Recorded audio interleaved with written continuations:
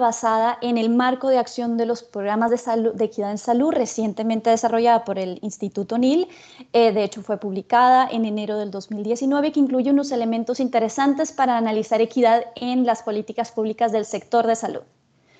Eh, la inclusión eh, de, de, las recomendaciones de la Comisión de la OPS sobre equidad y desigualdad de salud en las Américas también fueron contempladas y diversas discusiones con el equipo de Ana en la OPS, con Adria y otros expertos de la Universidad Johns Hopkins nos permitieron validar, limpiar, un poco reducir una eh, rúbrica que inicialmente era mucho más larga.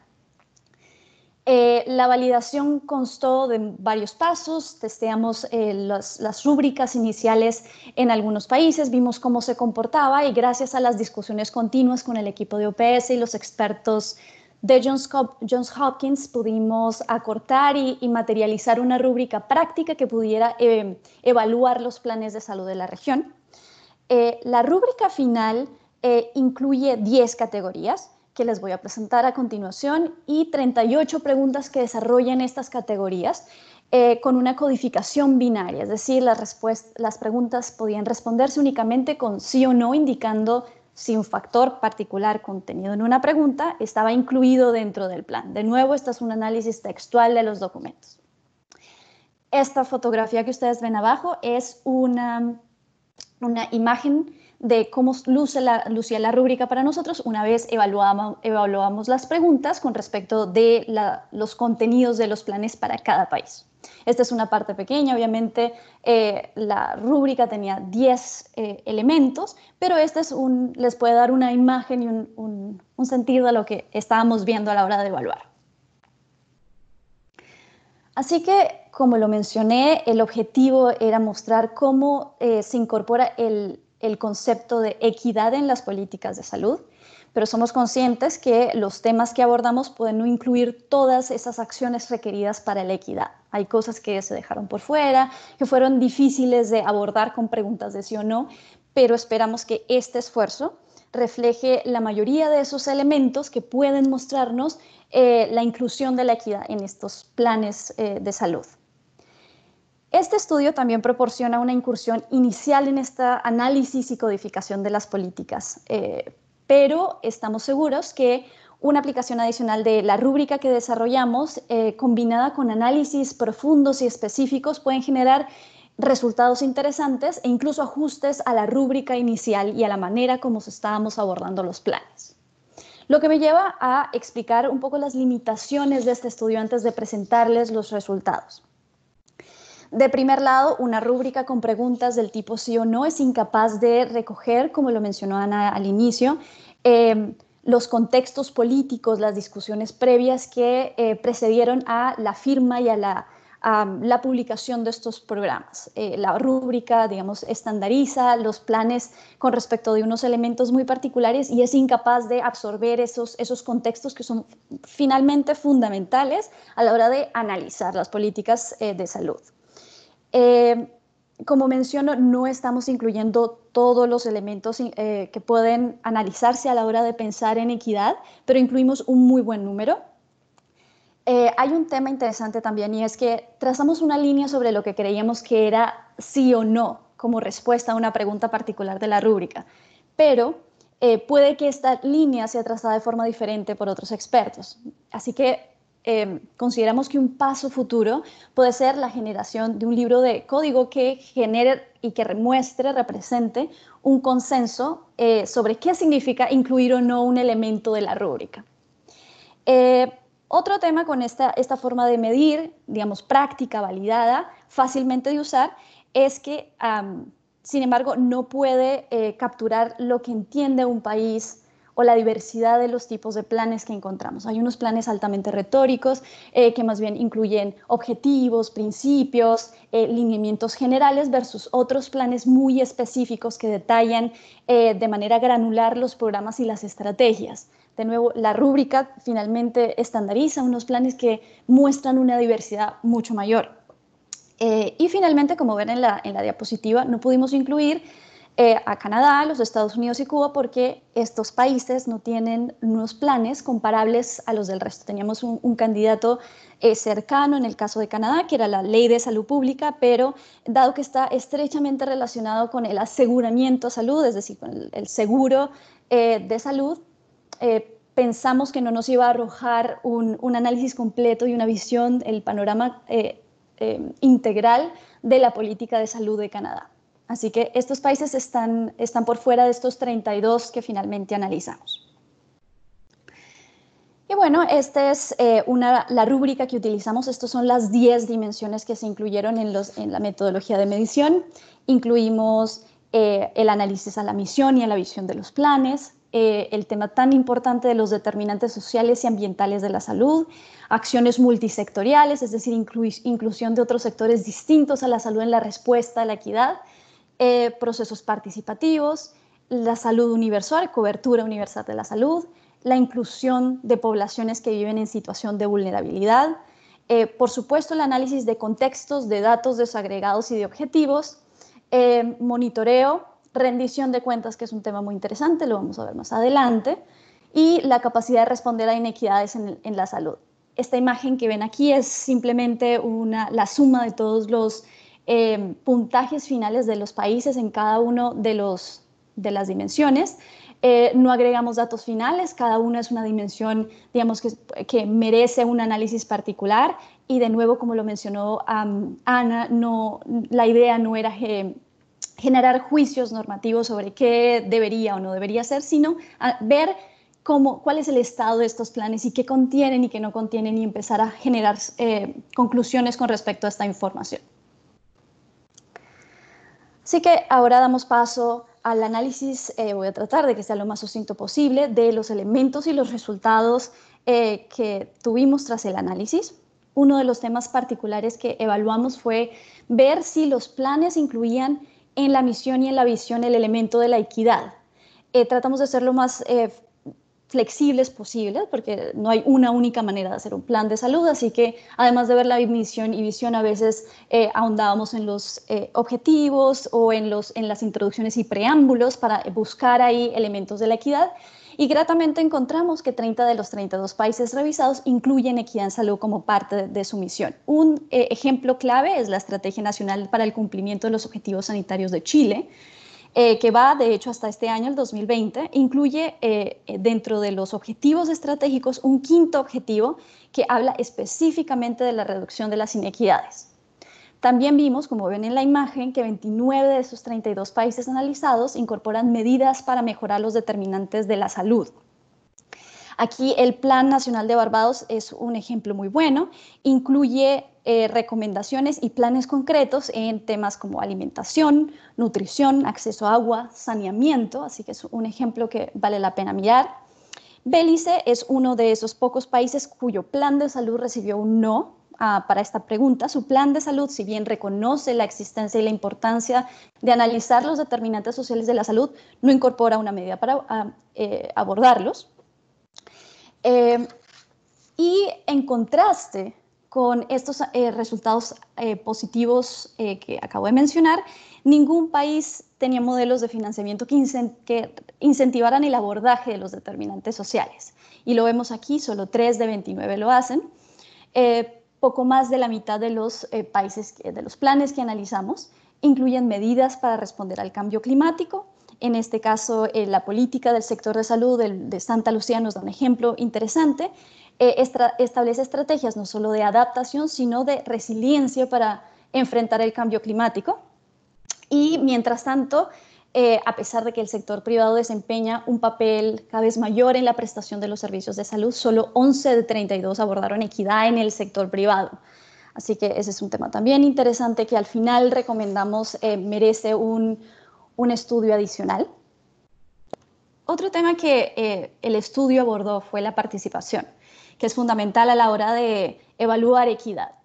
Y si bien un número importante de los planes de país analizados, como vemos 20 de 32, eh, describen un proceso para desarrollar el plan que incluye participación eh, pública, eh, también incluyen sociedad civil o incluso ambos, muy pocos planes hicieron referencia al alcance de las poblaciones eh, que viven bajo alguna vulnerabilidad.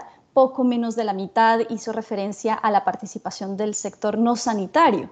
Eh, así que hay una variación interesante a la hora de entender cómo los países abordan la participación dentro de sus planes nacionales de salud.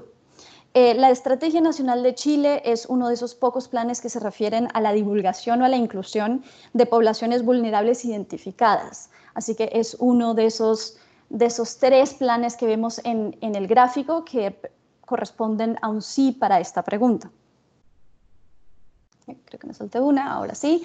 Eh, y ahondando un poco más sobre participación, de manera positiva vemos que la mayoría de los planes nacionales reconocen la importancia de la participación, es decir, 28 de los 32 países analizados consideran que es importante incluir la participación pública o la sociedad civil, no solo en el diseño, sino en la planeación de los planes nacionales. Eh, y aquí la Política Nacional eh, de Salud de Paraguay, que es la Política Nacional de Salud a 2015-2030, es ejemplar porque Paraguay incluye la participación social como parte de los principios del plan, lo que permea el contenido eh, de ese documento casi que de manera completa. Sin embargo, hubo pocas referencias a esfuerzos mucho más organizados y, por supuesto, financiados. Brasil es uno de esos cinco de los 32 países que ven ustedes ahí en la gráfica. Eh, eh, incluye acciones concretas para apoyar el funcionamiento de mecanismos, por ejemplo, eh, estructuras descentralizadas de defensoría del pueblo. Otro tema interesante de Brasil es que incluye políticas para alentar la evaluación de los servicios por parte de los propios usuarios, que es una manera de, de incluir a la población civil. Y finalmente, difunde información sobre el derecho a la salud y de cómo ejercer ese derecho en particular. Eso es un buen ejemplo. El Plan de Salud de Guyana también vale la pena mencionarlo aquí, incluye tanto un programa para involucrar a las organizaciones de sociedad civil como también mecanismos de subvenciones para financiar la participación de esas eh, organizaciones en, efectivamente en la, planeación y en el diseño de los planes nacionales de, salud. Así que esos son dos eh, ejemplos que vale la pena resaltar. Seguido de esto, eh, analizamos la equidad de la salud universal y encontramos que 23 de los planes incluyen un objetivo para proporcionar cobertura de salud eh, universal. 10 de los 32 países incluyeron acciones para aumentar el número de trabajadores en la salud en comunidades de situación de vulnerabilidad. Eh, y 14 incluyeron intervenciones para aumentar el acceso de los servicios de la salud a las personas en situación de pobreza u, u otras vulnerabilidades. 13 países de los 32 incluyeron intervenciones para aumentar la distribución equitativa del financiamiento de salud. Eh, y aquí eh, Colombia, con el Plan Decenal de Salud Pública 2012-2021, eh, especifica objetivos generales con respecto a la distribución equitativa del financiamiento y representa un buen ejemplo para analizar. otro tema interesante para ver dentro de esta, esta misma dimensión de la rúbrica que utilizamos para hacer el análisis del estudio es em, categorías como la accesibilidad física eh, por, eh, por, parte de personas que viven con alguna discapacidad, eh, la inclusión de poblaciones poco representadas, representadas dentro de la fuerza laboral de la salud. y vemos que si bien 11 de 32 países incorporan al menos una de eh, esas estrategias para abordar la discriminación en el sector. Al otro lado del espectro vemos que, por ejemplo, solo dos países de los 32 abordan eh, eh, digamos, las barreras lingüísticas, a pesar de que existe una diversidad de lenguajes nativos y originarios en países de América Latina, mucho mayores a estos dos países, que fueron, si no mal recuerdo, Guyana y Colombia. Y vemos que ningún país incluye acciones para involucrar a personas eh, de poblaciones poco representadas dentro de la fuerza laboral del sector de salud, que es, una manera clave de generar eh, inclusión y que ha sido recomendada por PAJO también.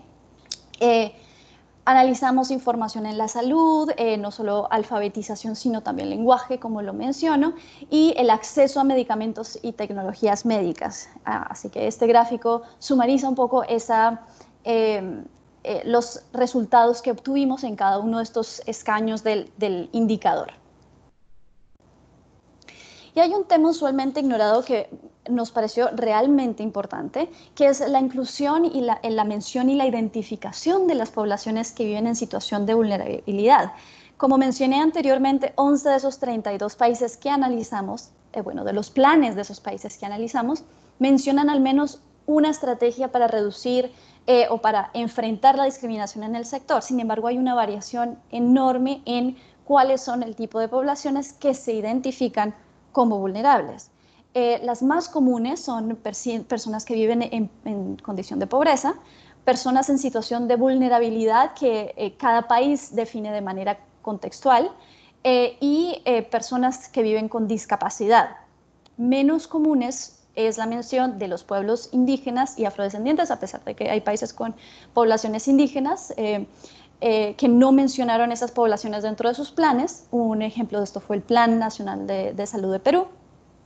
Y menos comunes eh, fueron la, población romaní, los migrantes y, la población eh, LGBT. Si bien hicimos el ejercicio, y esta es una aclaración que hay que hacer, de analizar cada uno de los planes y contabilizar cuáles incluían o no esta, esta mención o esta identificación de poblaciones en sus planes, el resultado final de esta contabilidad no lo incluimos en la rúbrica final porque la identificación de las poblaciones vulnerables en cada país es distinta y no se puede estandarizar. Así que si bien estamos incluyendo este análisis en general de, cuántos incluyen, el, número final no hace parte del puntaje por país. Otro tema interesante que analizamos fue la data eh, y, el, y el monitoreo revisión y vimos que más de la mitad, 19 de 32 países, incluyen datos respecto de las inequidades en salud. Eh, una descripción de los, del nivel de ingresos, de género, edad, raza, etnia. Usualmente esta información se encuentra en los contextos eh, que hacen los planes con respecto al sector de salud y se hace de manera, digamos, muy diversa. Eh, pero encontramos que un buen número lo hace. Solo 13 de 32 eh, tienen objetivos con plazo determinado para eh, reducir desigualdades, lo que hace interesante eh, la revisión. La mayoría, si bien incorporan procesos para monitorear y evaluar, tan solo 10 de esos 27 incluyen un rol del público, de la sociedad civil, en ese proceso de monitoreo. Es muy interesante ver cómo los planes involucran a la población civil, a la sociedad civil, al público en general eh, o es más común que los incluyan durante la planeación y el diseño, pero menos común en el monitoreo y en la revisión. Surinam ofrece un ejemplo, su plan de salud incluye eh, monitoreo como objetivo del plan en sí mismo, eh, pero también crea dos comités de monitoreo e implementación. Este es un buen ejemplo para analizar. Y otro tema fundamental eh, un poco ya para, para terminar eh, la, explicación de estos resultados, es la rendición de cuentas y el establecimiento de la responsabilidad con respecto a los objetivos que se establecieron en los planes de desarrollo de, salud.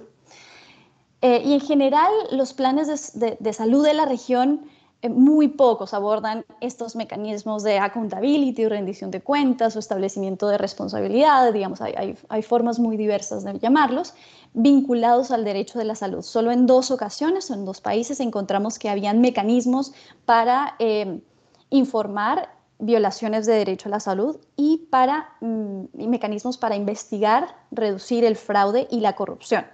Sé que es un tema menos mencionado, pero igualmente interesante de analizar. Hay muchas razones eh, eh, que podríamos encontrar eh, para, para, estos números, sin embargo la rúbrica es incapaz de absorber las razones, las causales por las cuales encontramos números tan bajos en, esta, en este tema en particular. Bueno, otro análisis interesante que hicimos eh, y por el cual recibimos un, apoyo interesante por parte de la Oficina de Equidad, Género e Inclusión Cultural de la, OPS fue el análisis de las estrategias nacionales de desarrollo. Lo que queríamos ver era esa conversación que existe desde las estrategias nacionales con el plan sectorial de la salud. Y a pesar de que usamos una rúbrica mucho más reducida, no podíamos, eh, digamos, extendernos tanto, eh, tenía solo seis eh, preguntas y dos prioridades, tuvimos hallazgos interesantes. El primero fue eh, una completa ausencia de la mención de salud en todas las políticas, que ha sido un tema, digamos, que se ha llevado en los últimos años a la región, y también la ausencia de evaluaciones de impacto en la salud, que es, digamos, no se menciona en las estrategias nacionales.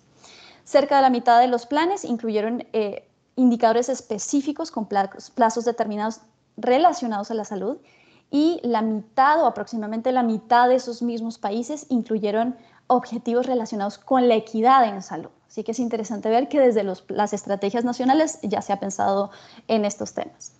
Eh, varios eh, países o eh, varias estrategias nacionales de desarrollo incluyeron objetivos relacionados con la equidad salud que no estaban en las secciones de salud de sus estrategias sectoriales. Y es muy interesante ver, hay muchas, de nuevo, muchas razones. en algunos casos las fechas de los diseños de ambos planes son distintos, entonces digamos que ahí se pueden encontrar brechas. Eh, y finalmente, no hay un patrón claro con respecto a la naturaleza de los objetivos de equidad en salud basado en poblaciones. Hay, planes que eh, se basan en la dicotomía rural-urbano, otros se centran en poblaciones específicas, otros buscan eh, o se centran en poblaciones de bajos ingresos, así que no hay un patrón único. pero vale la pena analizar los contextos de cada plan nacional de desarrollo para ver esas diferenciales. Y para cerrar la presentación, eh, voy a hablar un poco de las recomendaciones que hace este, este estudio, habiendo mencionado las limitaciones a las que nos encontramos o nos enfrentamos a la hora de desarrollar este análisis. Eh, vemos que hay una importancia de estudiar áreas claves eh, con respecto a la equidad. En primer lugar, estrategias financieras para fortalecer acciones que apoyen los determinantes sociales de la salud o que desarrollen los determinantes sociales de la salud. Eh, el tema de participación de poblaciones en situación de vulnerabilidad lo encontramos clave eh, para análisis futuros, estrategias específicas para abordar poblaciones particulares o para abordar equidad hacia la salud universal. Y finalmente, y no menos importante, el eh, establecimiento de responsabilidades, rendición de cuentas, incluido no solamente objetivos en salud, sino también los mecanismos propios de ese monitoreo y de esa responsabilidad. Em, también consideramos que es necesario en el futuro evaluar cómo las políticas afectan la equidad en salud y cuáles son esos factores que ayudan a que la política sea efectiva. Es decir, eh, es, un, es, un, análisis más de implementación, cosa que no se ha podido hacer en este estudio. Eh, y es necesario emplear en análisis, primero, cuál es eh, el, em, digamos, la relación entre políticas, leyes y regulaciones y cómo, es, eh, cómo funcionan en la práctica estas políticas, cuál es, su, eh, cuál es su impacto y cómo se implementan. Finalmente, expandir la forma en que los planes abordan la equidad y para esto de nuevo hago la cuña sobre la implementación de los marcos de acción de los programas de equidad en la salud que recientemente ha desarrollado el ONIL y que incluye unos eh, elementos interesantes para analizar la equidad y para trabajar equidad dentro de eh, los procesos de elaboración de las políticas públicas en el sector y considerar comparaciones, porque no empezar a hablar de buenas prácticas en el área de políticas públicas en salud y traerlo, digamos, eh, venderlo un poco para ampliar el análisis sobre qué puede llegar a funcionar y qué no.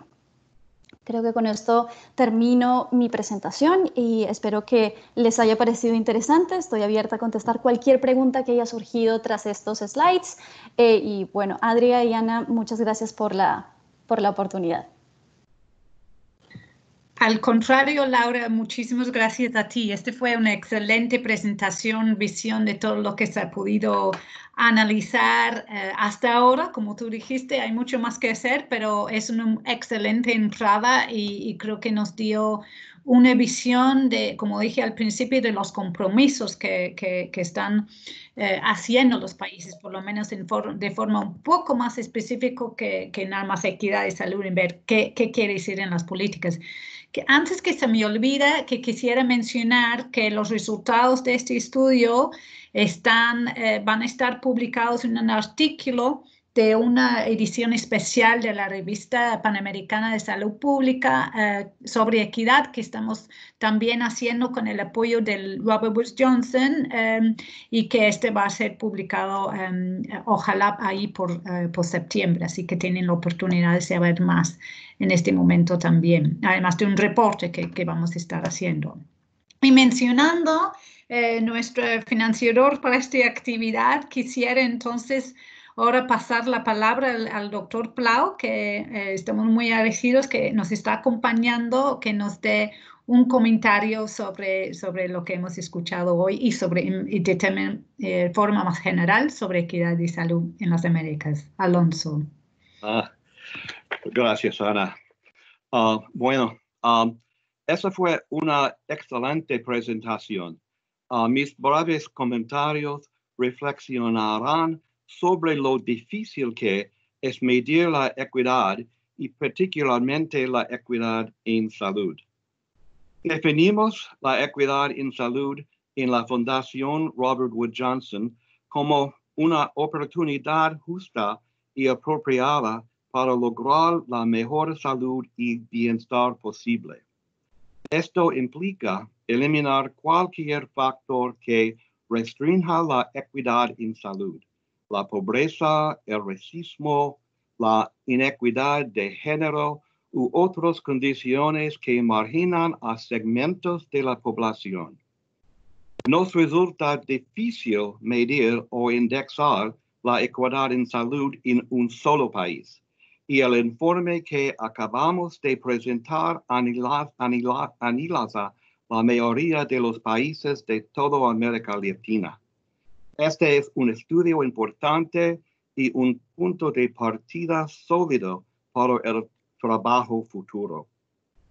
Si bien la metodología utilizada fue rigurosa, está limitada a dos formas importantes. Primero, hay límites a la codificación binaria de elementos de equidad bastante complejos representados en los planes nacionales de salud ya publicados. En segundo lugar, aún más importante, el de los planes de salud revisados que se centran principalmente en los servicios de atención médica, los seguros y los sistemas nacionalizados de prestación de atención médica, y no en los determinantes más amplios sociales y económicos de la igualdad de salud. El primer problema de autores lo reconocen en su recomendación. Los documentos de planificación de la salud de arriba a abajo de la nación no suelen involucrar a la población marginada en el desarrollo del plan. Además, la simple codificación menciona cuestiones tan complejas como los determinantes sociales de la salud o la capacidad de responder a las inequidades en salud, apenas roza la superficie de cómo la intención política se convierte en práctica y acción para lograr la equidad en salud. Los planes se convierten en acciones cuando se vinculan a una participación comunitaria profunda, especialmente a las poblaciones marginadas. Un enfoque de estudio de caso profundizaría en los países y aclararía particularmente cómo el sector no sanitario está involucrado o no es la mejora de de determinantes sociales como viviendas asequibles y de calidad o exceso a alimentos o a un salario digno. La gran mayoría de los determinantes sociales de salud no están controlados por el sector de la salud. El segundo problema es que los planes se centran en gran medida a la atención de la salud y no en el conjunto multisectoral de estas fuerzas de marginación que tiene un impacto tardío en la salud y el bienestar de la población marginada y determinan en gran medida sus oportunidades para una salud y bienestar óptimos.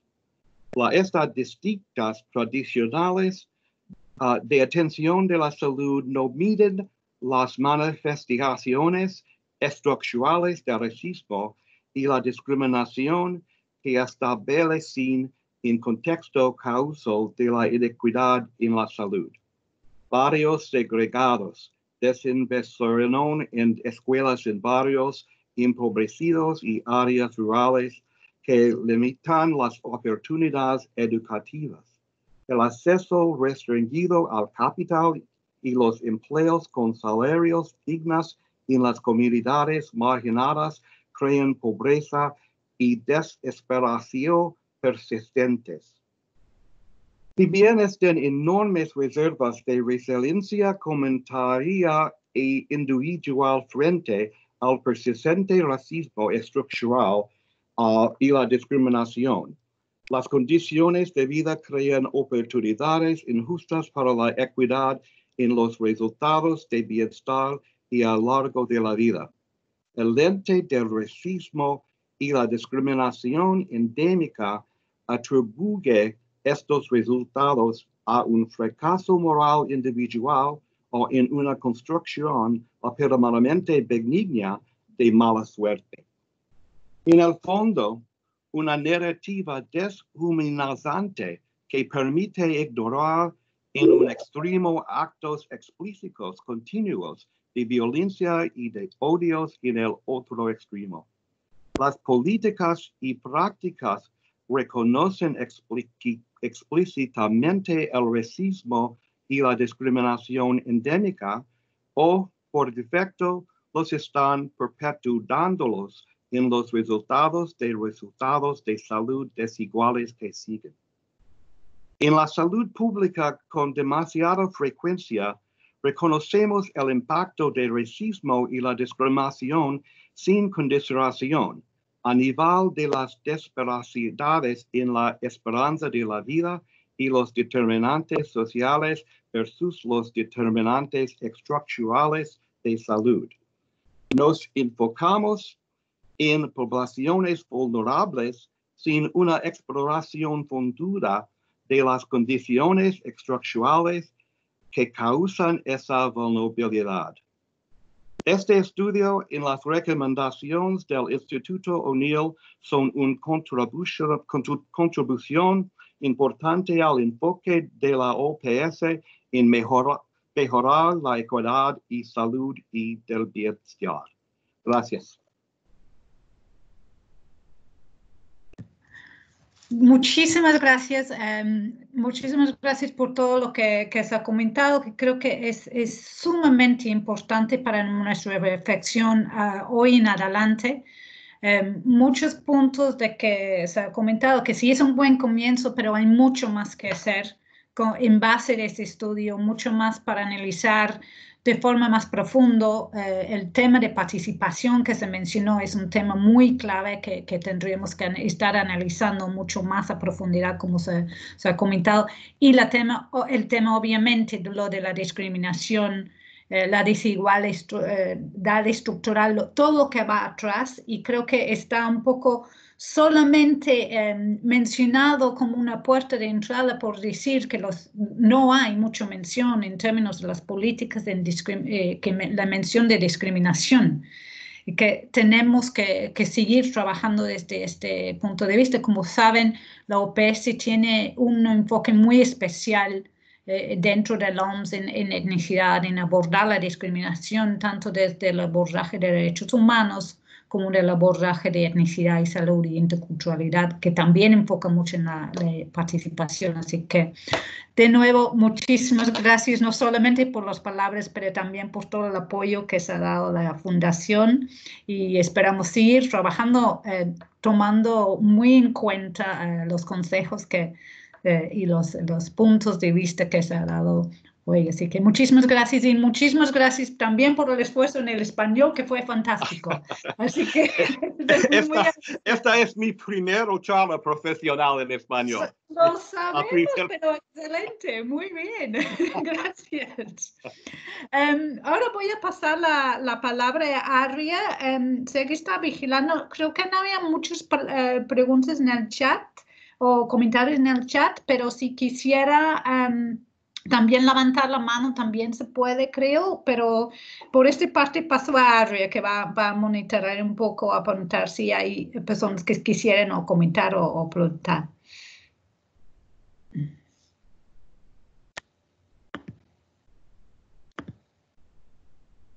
Arvia, no te escuchamos.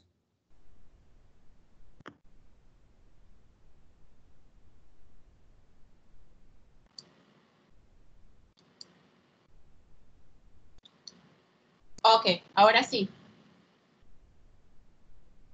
Ya. Tenemos 15 eh, minutos para preguntas y respuestas.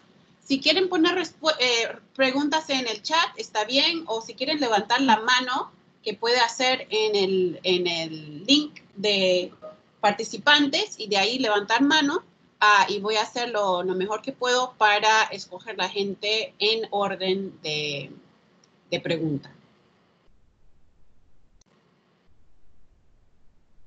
pregunta. veo una pregunta saliendo en el chat.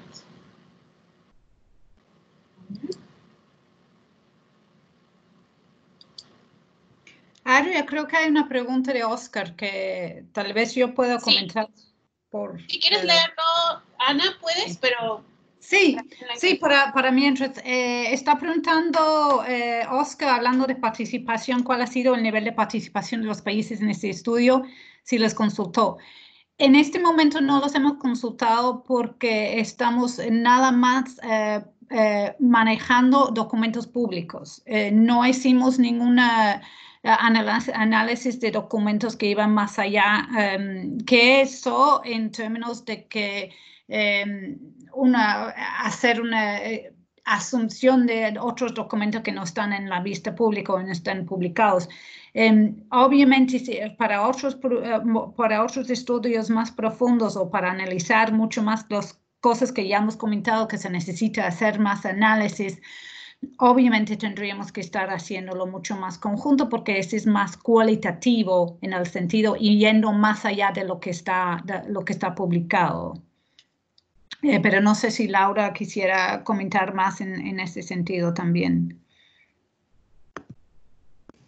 No, Ana, yo creo que has sido bastante comprensiva en tu respuesta. La idea de este estudio era analizar, además preguntarle al texto, y es una de las razones por la cual la rúbrica resultó siendo tan práctica eh, y, fue eh, diseñada de manera que fuera de que se pudiera responder solo con respuestas de tipo sí o no.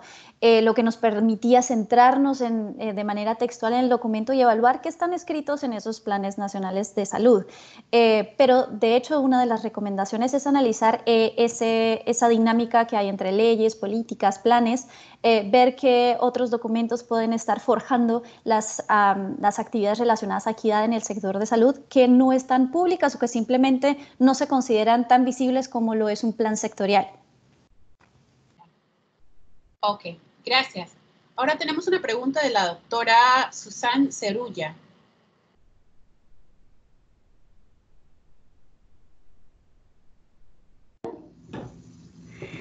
Buenos días a todas, a todos.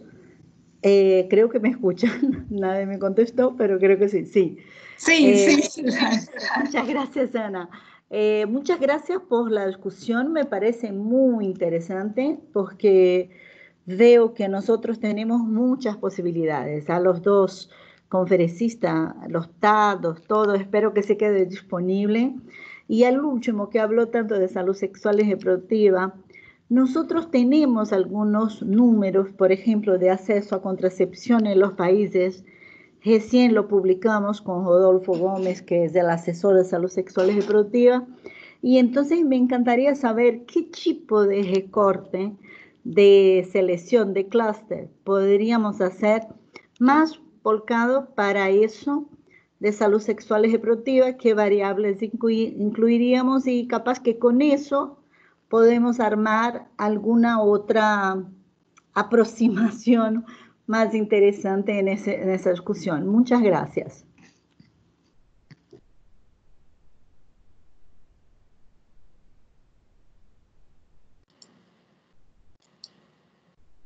Como esta es una pregunta específica, ¿alguien quiere tomar, eh, alguien quiere responder esa pregunta?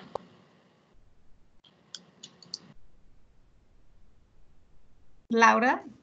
Y, yo podría responder desde el estudio. Em, digamos, los temas de salud sexual y reproductiva son, no están incluidos en, el estudio eh, y creo que es uno de esos temas que podría incluirse a futuro cuando se hagan eh, análisis mucho más profundos. No tengo ahora en la cabeza qué tipo de indicadores podríamos usar, eh, pero creo que es un tema que vale la pena analizar y que, y que merece una atención especial, sobre todo si estamos hablando de equidad. Eh, yo me olvidé de mencionar, pero Costa Rica tiene un muy buen ejemplo en estrategias para generar equidad em, de género y eh, disminuir la discriminación o enfrentar la discriminación a la población LGBT desde el sector de salud y creo que incluye unos indicadores interesantes que podrían utilizarse como base para pensar en temas más amplios o incluso más específicos como eh, la salud sexual y reproductiva. Creo que si bien no lo mencionamos en el estudio, hay algunos elementos que se pueden usar para empezar a construir indicadores más robustos. No sabría si desde la OPS ya se han hecho estudios sobre este tema o si han desarrollado indicadores particulares sobre este tema en, en, concreto. Pero es muy buena pregunta, muchas gracias. Yo, solo quisiera agregar que analicemos mucho de lo, eh, Susana, lo, de los alimentos de varias diferentes áreas, incluido entre ellos eh, género. Como, como bien había comentado Laura al principio, el, el rúbico al principio era mucho más grande y quisiéramos reducir y, Se perdimos, Ana. Y sabemos que es un punto de entrada. Eh, de, de, que es un punto de entrada aquí. Mm. Y está muy bienvenida para el internet más. Para Andrea, ¿te estamos escuchando? No, es que em, tu internet se está cayendo. Oh, perdón. Bueno, entonces me tengo que callar más, pero Susana, ¿le podemos hablar más para profundizar más eh, y, y, estar como dejándolo más eh, en diferentes áreas. Hay muchas áreas en donde se puede también desarrollar más, no solo género como etnicidad, como otros temas como determinantes sociales se necesitan. Este fue nada más un primer punto de entrada para ver en cuál en papel en público está, está por lo menos mencionado para darnos este punto de, punto de entrada. Perfecto, Ana, lo haremos. Sí tenemos un comentario en el chat que quiero compartir y luego al Oscar, em, ¿podríamos pasar a alguien que no ha, no ha tenido una pregunta o la tuya es muy importante? Ya, me dirás después de leer este, este, este eh, información. Eh, Doctora Oriel Solar nos dice que es importante señalar que el concepto de salud en todas las políticas no es la forma habitual de trabajar en la región, sino como intersectorialidad para la equidad. Y esto, eso sí está presente en varios países en sus planes sectoriales. Entonces, es una consideración eh, que tal vez hacia el futuro, cuando estamos estudiando ese tema, debemos tomar en cuenta. Eh, entre las preguntas, primero tenía a Oscar. No sé si Oscar quiere ceder para que alguien más tenga su pregunta en los últimos cinco minutos. Por lo visto, lo que quieres es que ceda. Yo encantado de ceder. Ok, gracias, Oscar. Eh, la próxima que tengo es la doctora Ivy Talavera. Sí, buenos días a todos. Gracias por el espacio. Muy interesante y y eh, más que em, hacer preguntas es, realmente dar ratificar lo que estamos varios escribiendo en el chat, que es interesante que se haga también, digamos, el seguimiento con los países, porque cada uno de los países hemos avanzado en este tema, porque cada uno tiene sus, sus principios dentro de sus planes nacionales y, y Oscar es testigo de todo el avance que en el caso de Colombia se ha tenido en este, en este particular. Justamente el Plan Nacional de Desarrollo de Colombia, que data hasta el 22, es Pacto por Colombia, Pacto por la Equidad, y contempla una visión de desarrollo basada en la legalidad, el emprendimiento y la equidad, y tiene rutas muy claras, muy claras de acción e implementación a partir de estos transversales y toma todos los elementos eh, y argumentos eh, eh, mundiales y regionales y los pactos que se han hecho a nivel del tema, sobre todo para hacer seguimiento a las metas nacionales para el cumplimiento de los 17 ODS y que es, es un claro compromiso. Entonces yo creería que las experiencias de los países y los avances que han tenido son un insumo grandioso que nos puede, que puede permitir aportar a lo que ustedes están haciendo, pero también eh, sobre las variables que ustedes presentaron, que nos pareció muy pertinente, podemos realmente hacer ese march y poder identificar realmente cuál es el, logro hacia la equidad y, para no dejar a nadie atrás. Entonces yo creo que eh, si hay que, que, hay que potencializar estos, estas evidencias, se pueden retomar las experiencias que los países ya estamos teniendo y hablo particularmente con Colombia, pero sé que muchos países de la región también lo, han reconocido como una urgencia y una prioridad en sus planes nacionales de desarrollo. Cambio. Gracias por, por, compartir esta interesante evidencia. Gracias por ese comentario.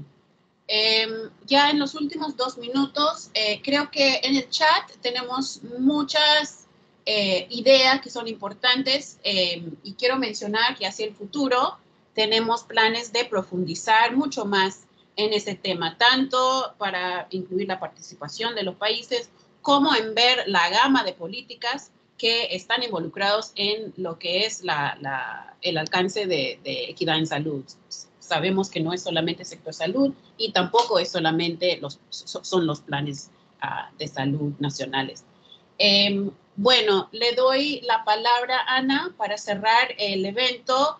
Vamos a mantener la, información de los chats y también tenemos eh, una grabación del evento. Veremos la calidad, pero si podemos compartir, la vamos a compartir también. Gracias, Adria. Es, es un, un, desafío enorme terminar porque yo veo mucho, muchos comentarios de interés. Quisiera enfatizar, yo sé que hay muchas preguntas así sobre qué se, puede decir de este eh, estudio, qué no se puede decir con este estudio. Estamos muy conscientes de eso. Eh, desde el principio lo que queremos señalar que este es el primer punto de entrada, es, es realmente documentar analizar lo que está publicado como compromisos, como dije al principio. En términos de lo que falta hasta los planes sectoriales, ver qué se está haciendo en realidad eh, de forma más uh, profunda de, em, es, eh, eh, y cómo, cómo vamos a seguir trabajando en eso. Esto hay mucho hacer. Y eh, esperamos poder hacerlo, esperamos poder eh, trabajar eh, con los países, que es el plan para el próximo paso y más profundo. Vi que hay un, había una pregunta también de que em, cuáles, eh, cuáles son las eh, participaciones que debemos tener, cuáles son las eh, ideas en términos de que, cómo, podemos medir el impacto de estos programas, estos planes y, políticas. Y esto es algo muy fundamental em.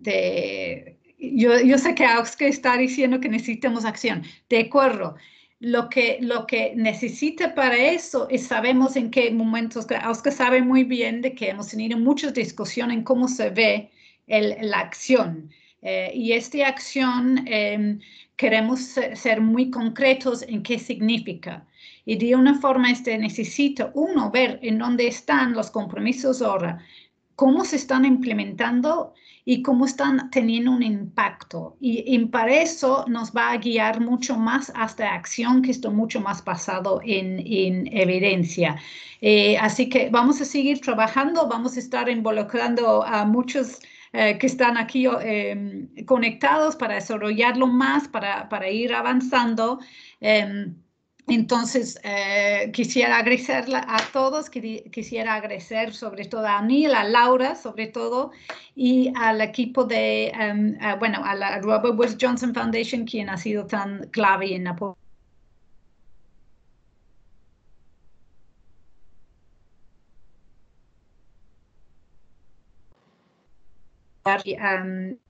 vamos a cerrar esta sesión. Hay otra sesión, eh, creo que a las doce y media en inglés. Eh, y ojalá que también tendremos mucho interés en eso y vamos a, a, compartir los resultados de este estudio y ojalá más estudios y más acción.